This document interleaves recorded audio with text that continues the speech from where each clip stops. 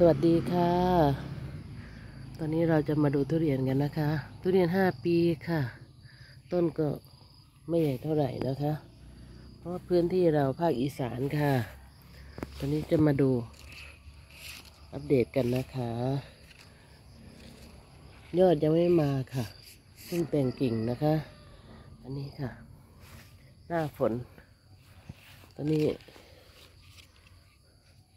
กำลังยอดจะมาแล้วค่ะดูนะคะ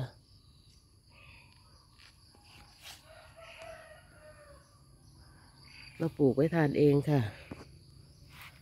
แล้วก็มาดูต้นนี้กันนะคะ ต้นนี้ใหญ่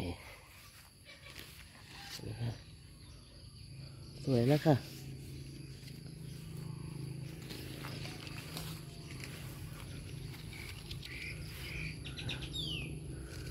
ห้าปีค่ะ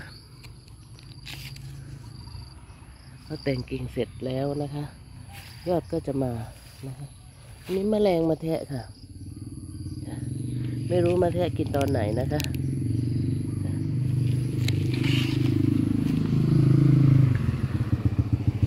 เราจะปลูกแบบอินทรีย์ค่ะ ไม่ได้ฉีดยานะคะดูค่ะ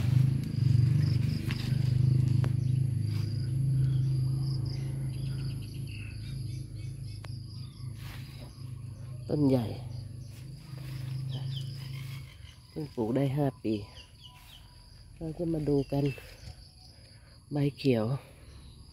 เข้มก็มีแมลงแทะบ้างกินบ้าง เพราะเราไม่ได้ฉีดยาเลยนะคะเราจะมามาแฝน ลูกเหม็นค่ะ ลูกเหม็น ให้แมลงหนีไล่บ้างนะคะ